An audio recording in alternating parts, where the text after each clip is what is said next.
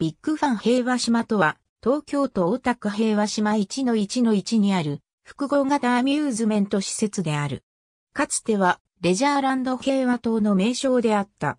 平和島付近の航空写真。1989年撮影。北西の角が現在のビッグファン平和島に相当する。国土画像情報をもとに作成。ビッグファン平和島は各種アミューズメント施設や飲食店その他の店舗の集合施設である。敷地は平和島の北西端の一角を占め、敷地内にはシネマコンプレックスや各種店舗の入る複合商業ビル、平和島協定場、バッティングセンターなどの施設が存在する。土地施設の保有、管理や施設全体の運営は、京急開発株式会社が行っており、京浜急行電鉄の関連施設としての色合いも強い。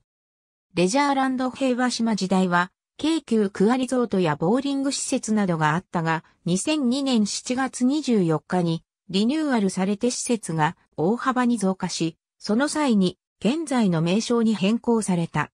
バス停は旧名称で残っている。